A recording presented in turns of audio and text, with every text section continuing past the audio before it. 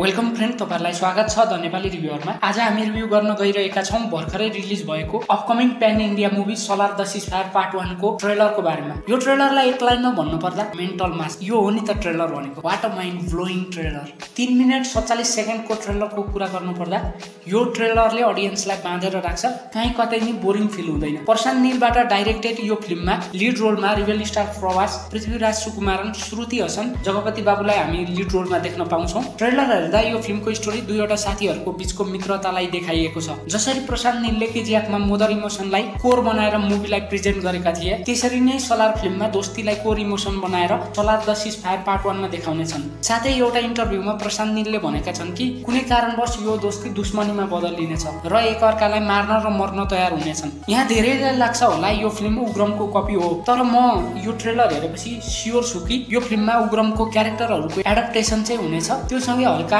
मुभीको theme पनि adapt हुन्छ तर उग्रमको रिमेक भने यो फिल्म हुँदैन। यो फिल्म दुईवटा पार्टमा आउनेछ र यो फिल्ममा केजिएफको कुनै कनेक्सन हुने छैन। प्रशान्त निलले भनेका छन् कि केजिएफ एउटा फरक युनिभर्सको फिल्म हो र सलार पनि फरक युनिभर्सको फिल्म हो। यो फिल्मको स्टोरी केजिएफ बन्नुभन्दा अगाडि नै प्रशान्त निलले लेखेका थिए। ट्रेलरमा प्रवासको इन्ट्रीदेखि लिएर डाइलग डेलिभरी र उनको एक्सन उतारले उनका पुराना फिल्महरूको याद दिलाउँछ। उनलाई हामी भिन्टेज लुकमा देख्न सक्छौँ। जुन चाहिँ मैले योभन्दा अगाडिका फिल्महरूमा मिस गरिरहेको थिएँ। पृथ्वीराज सुकको क्यारेक्टरमा बब्बाल देख्न सक्छौँ। उनको पर्फर्मेन्स बब्बाल छ। जगती बाबुलाई पनि बब्बाल देखाइएको छ। उनको काम नै राम्रो छ। त्रुति हसनको एक लुक मात्र छ। जहाँ उसलाई डराएर बसेको देख्न सकिन्छ। मुभीको ब्याकग्राउन्ड स्कोर बब्बाल छ। मुभीलाई पुरै डार्क मुडमा राखिएको छ जसले बब्बाल थ्रिल पैदा गर्छ। ओभरअलमा भन्ने हो भने बाइस डिसेम्बरमा बक्स अफिसमा फेरि एकचोटि प्रवासको राज हुनेछ। हुन त उनका फिल्म फ्लप भएर नि दुई तिन सय करोड कमाइदिन्छन्।